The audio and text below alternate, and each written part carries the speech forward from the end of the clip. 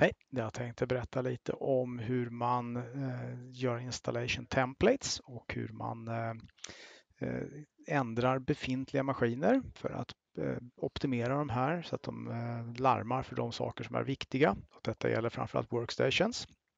Jag ska ta en helt nyinstallerad maskin som har fått alla checkar på.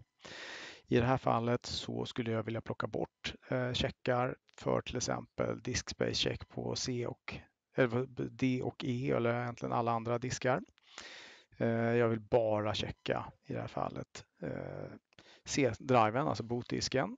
För det är det som är intressant. Eh, nu tar jag och markerar mina kunder och får upp de diskar som i det här fallet då drive-letter sorterade. I det här fallet var det inte så många så att då kan jag göra på det här sättet, gå in och markera upp dem och väljer delete. Hade det rört sig om väldigt många så kan jag hellre göra som så att jag deletar alla diskspace-checkar och hellre lägger på en diskspace-check i efterhand. Eh, funktionen blir densamma. Eh, I det här fallet så ska vi ta och delita eh, Windows Services. Så att jag går in på Delete checks like this och går in och väljer ett gäng av mina demokunder. Jag markerar upp allting och så är Delete selected. I det här fallet så gäller det bara två maskiner som vi har på test nu. De andra är redan gjorda.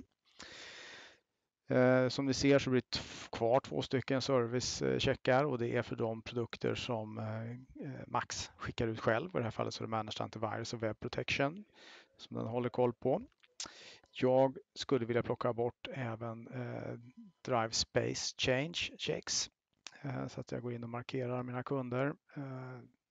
Eller selektera alla och deletar. Som ni ser så kanske inte såg det bakom men så hittade den alla diskarna. Jag vill göra samma sak med failed login checks för att det är inte intressant för mig i alla fall på eh, de här kunderna i teständamål. Eh, försöket här är egentligen att försöka optimera eh, systemet för att vara så smidigt som möjligt och bara plocka ut de saker som, som är viktiga för oss. Jag tar bort även critical event log-checkarna på Workstation. Eh, en del av er kanske vill ha kvar dem, det får ni bestämma själv. Eh, I vissa fall så används de mest för att eh, felsöka när man hittar andra fel så att säga. Får lite snabb feedback. Nu har jag lite checkar som ligger kvar här och en del av dem hör ju till de produkter som är utskjutna, det vill säga Managed Antivirus och Web Protection och så vidare. Jag vill gå in och plocka bort eh, antivirus update-checken för eh, Windows Defender. För jag vet det att det är en klassiker. Den blir kvar här. Nu tar jag bort den från en enskild kund, men det här kan ju varit det är samma sak som när vi pratar CD-diskarna där att vi sorterar på eh, vilken check det är eh, i, i, ordning så kan jag se bara att plocka bort dem som tillhör Windows Defender till exempel. Nu har vi strippat ner den här maskinen ganska långt och nu vill jag hellre ta och lägga på nya checkar. Precis som eh, vi gjort tidigare då så ska vi göra det här på många maskiner så att vi säger add to multiple devices. Jag plockar eh, två stycken kunder. Jag har inte så mycket maskiner på de här men det är för, för test och visa. I det här fallet så tar vi lägger på och nu har vi valt att det ska vara script check. Då får vi automatiskt upp då bara listan script checkar jag vill ta och lägga på en, det var en daily safety check vill jag på så att jag vill köra eh, auto update off som är en skip check vi har som går in och stänger av eh, Windows update eller Microsoft update så att den inte frågar kunden om man vill nya installerade eh, uppdateringar. Därför att vi vill i det här fallet sköta patchhanteringen via eh, ja, Max patchhantering. Vi tar och lägger på ytterligare en scriptcheck. Ehm, vad ska vi ta för någonting? Vi tar och kollar. Ska vi se. Ehm. Nej, inte den. Vi tar och kollar någonting annat för nu ska vi, det här körs en gång per dygn så nu vill vi kolla licensnycklarna för Microsoft till exempel. Det här är en check som går in och hämtar licensnyckeln för Windows och för Office-paketen. Här kan ju finnas andra egna checkar ni lägger till som hämtar annan typ av data. Eh, det här är bara några förslag från våran del. Vi lägger till flera multipla checkar och lägger på det på samma kundgrupper. Det kan ju vara som så att har ni rensat allting så kanske ni lägger på det på alla maskiner. Nu har vi lagt på en skriptcheck som kollar om eh, användaren är inloggad. Jag ska visa vad den kan vara bra för eh, så småningom. Det har mycket att göra med supporthänseende. Vi ska ta och lägga på ytterligare någon när vi ändå är på gång. Vi vill bygga en grundfil eh, egentligen med, med grejer. Jag har en som kollar program i autostarten på maskinen. Och fördelen med den är egentligen också där man sitter med kunden och de har problem så kan vi snabbt kolla vad som finns i maskinen. Eh, vad, vad, som är startat eh, eller vad som startas egentligen från autostarten så man kan ha lite snabba felsökningsgrejer. Jag vill lägga på en eh, och i det här fallet så ska vi göra en eventlogcheck som kollar diskarna och framförallt eventlogfel runt omkring diskar. Eh, vi har några eventlog-id som är intressanta för vår del som vi har googlat upp. Vi har 7, 11, 51 och 52 som är kända diskfel och det gäller då warning och error. Sourcet är normalt disk. Eh, det är den som kommer rapportera de här felen och vi vill också då bara köra harddisk 0 för att vi är inte intresserade av fel som genereras när folk rycker in ur USB-diskar eh, och inte gör det på korrekt sätt utan bara botdisken är intressant. Nu skulle vi naturligtvis gjort det här för multipla maskiner på en gång så nu går vi in och markerar just de här två testsajterna. Så gör vi samma sak igen. Nu får vi upp en lista på alla möjliga eventloggar. Nu har den plockat alla eventloggar som den har hittat på oss som, som kunder. Eh, eftersom det här kan röra sig om flera typer av maskiner. Vi ska som sagt 7, 11, 51, 52. Vi ska ha warning och errors från source disk. Och vi ska ha message contain string harddisk 0 som sagt för att minimera fellarm för det är det som vi vill komma bort ifrån när vi nu gör den här proceduren för att mm, ja, minimera onödiga larm på workstation. Så att eh, tanken är att vi ska försöka hålla våra maskiner så gröna som möjligt och bara få info när det händer någonting som är väldigt viktigt för kunden, typ hårddiskproblem eller liknande.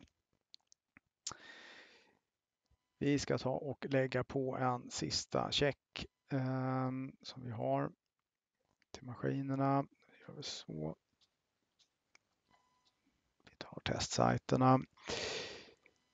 Vi ska plocka fram en eh, check som finns i alla era system som heter antivirus status.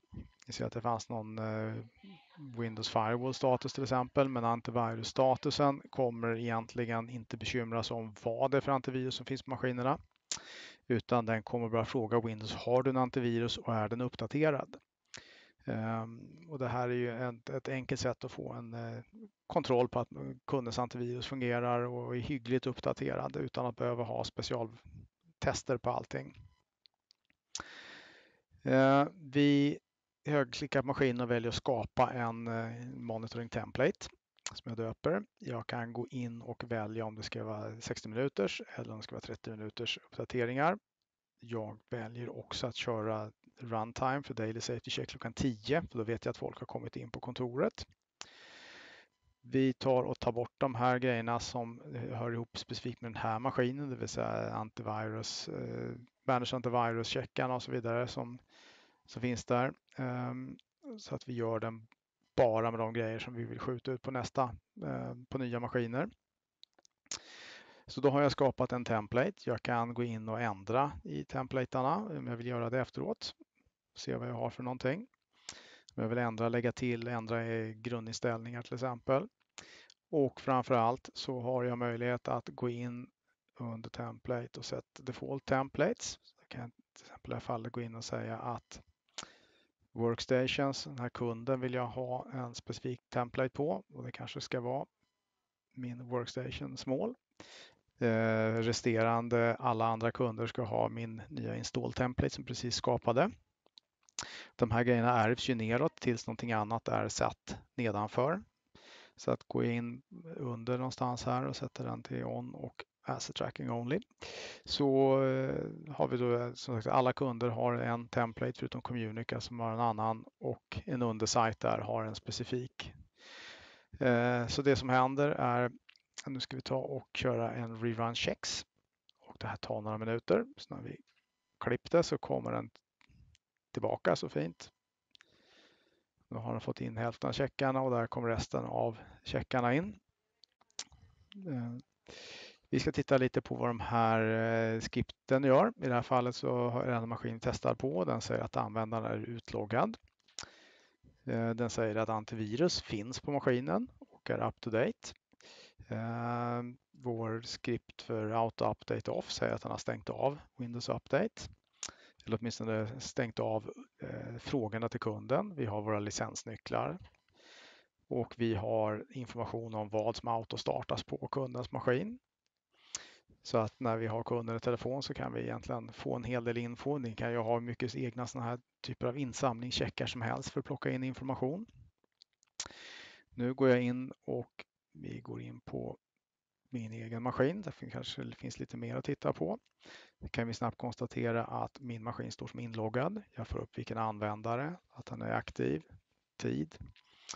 Eh, vi har, jag ska ta någon av de andra, ehm, på Windows Product Key och då har vi produktnycklarna för min Windows 7 och mitt Office-paket.